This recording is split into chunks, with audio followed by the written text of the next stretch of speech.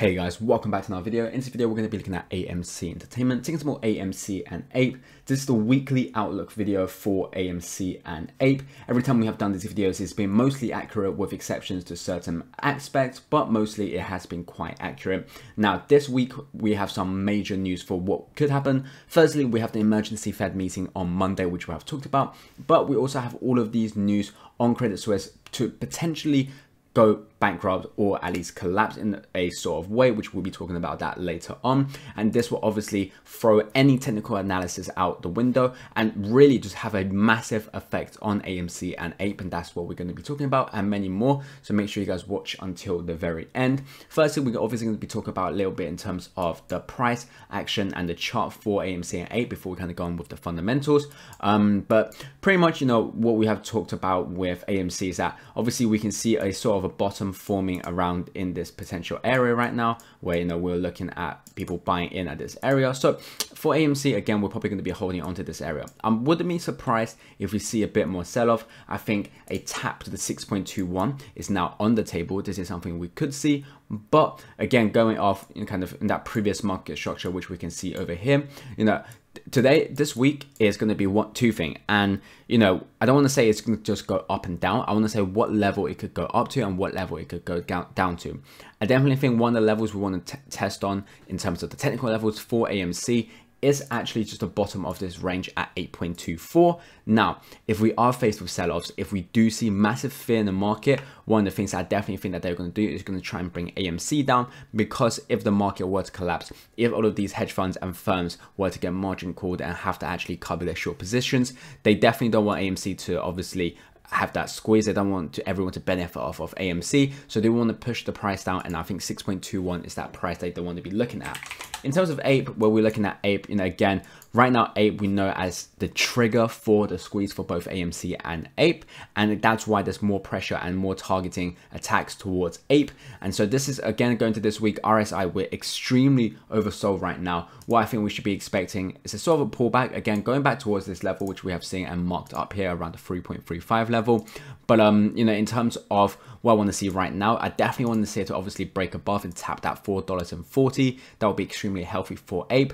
But like I said, it is the catalyst, it is the trigger for the squeeze. And so they want to bring this down more than they want to do AMC because if they are able to bring this down, they can prevent the squeeze or at least delay it for a longer time for them to, you know, start looking for other ways out. So that is it for the chart analysis. Let's take a look at the news. So the first thing we're going to be looking at is in terms of what Peter Hunt has said um, and it's talking about Credit Suisse and it's talking about how big it is. And we definitely understand this is a big factor upcoming for how we can get a squeeze for AMC and for Ape. So what he said is this.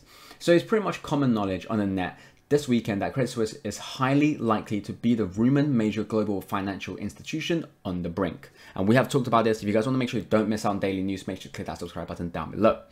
The CEO has said the firm's capital position is strong, but of course likens comparison to what Bear Stearns and Lehman said in 2008. Adding to the speculation is a closed door meeting of the Federal Reserve on Monday, something we also covered. All this was interesting and I'll tie it back to AMC. Credit Suisse was an aggressive seller of AMC in dark pools in Feb and March 2021. And as a prime broker for Archegos, it was speculated that this was a total return swap related for Archegos. Now, Archegos long positions is what blew it up, but nothing was ever said of his short positions. If any, however, Bill Hwang was a legendary short trader in previous years, so it's likely they did have significant shorts. And so I have to wonder if Credit Suisse has been stuck with those AMC related shorts. It may be a stretch that they were short AMC. Now we know one of the stock they were actually short on as well was GME, so this is something that's also on the talk. But of course, this channel and this video is more about AMC right now, so that's what we're talking about AMC and perhaps if so, CS we surely have covered. However, we've seen some very stupid behavior from many so-called smart players over the last few years, and CS in particular has shown stupidity on multiple counts. CDs are at levels not seen since 2008, and the share price has fallen from 4 below $4 from 70 a few years ago. So get some AMC popcorn and watch the show unfold next week. So yeah, Technical analysis is very key when we don't have major news. If a bank, if a system was to go bankrupt, it was to corrupt and just kind of, you know, collapse in this week, technical analysis will be thrown out the window. Anything I said for that, you know, the first two minutes of the chart analysis, they will all be useless because nothing will have effect. No technical analysis will have an effect.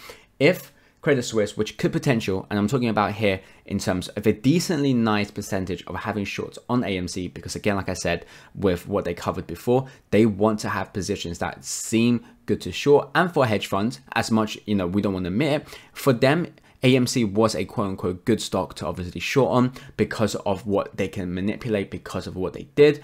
And so there's a very high percentage that we obviously have a massive short position for AMC as well.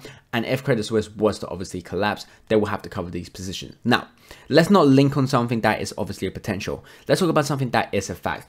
If, for example, Credit Suisse were to be broke, they will have a massive effect on the market. Let's take a look at this. So this is basically someone made a whole thread in terms of Credit Suisse and Deutsche Bank are on the verge of collapse. So first, let's look at this. The combined asset base of the two banks is nearly two trillion dollars, which is three times the asset base of Lehman Brothers at the time of its collapse. Now, the reason why I bring this up is first we got to understand that even if we don't talk about the links with what Credit Suisse has with AMC, we do have to bear in mind the amount of power they have in the market.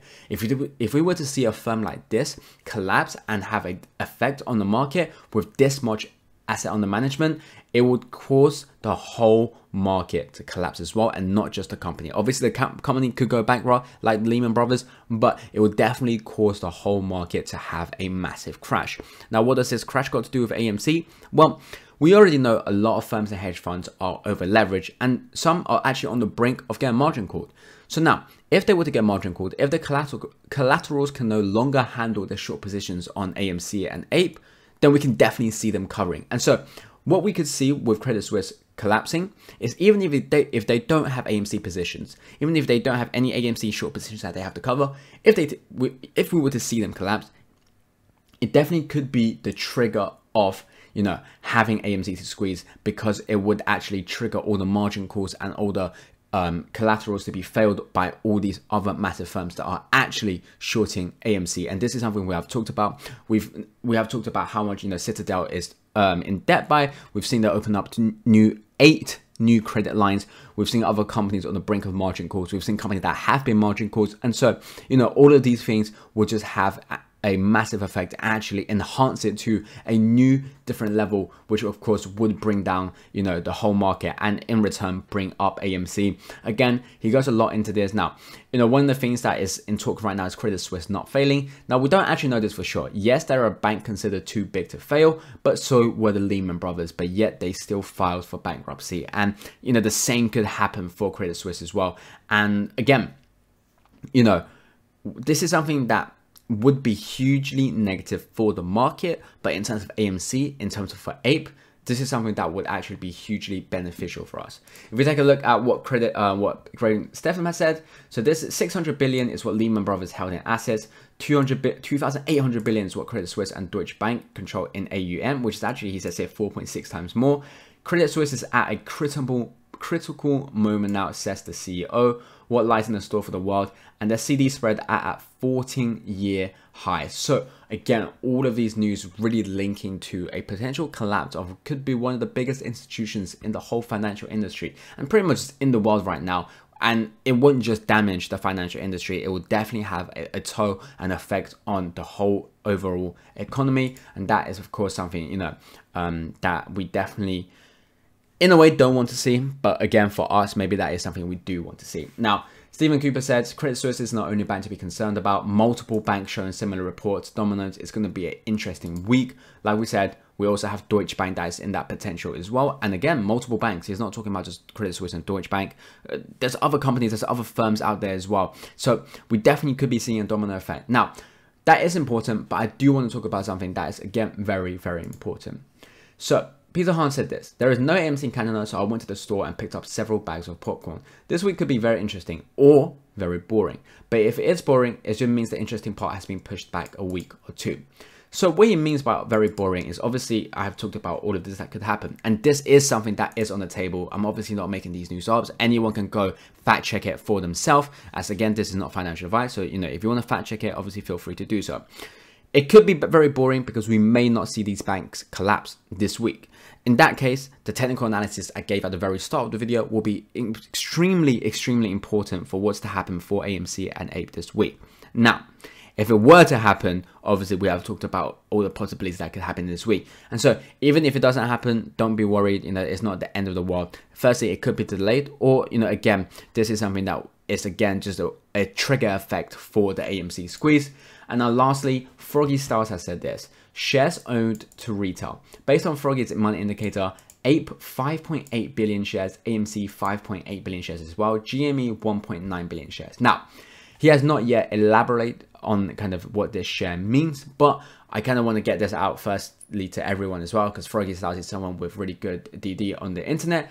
And you know, I do, I, and I do, do want to specify that he has not elaborated on it anymore. He's kind of just given this statement right now, and obviously take it with a grain of salt. But this is something that could be very interesting if he were to elaborate on this. And again, if you guys want to obviously make sure that you're up to date with it, go follow him or go follow my videos because we could be updating on this very soon as well. Anyway guys, thank you for watching. I'll catch you guys next time.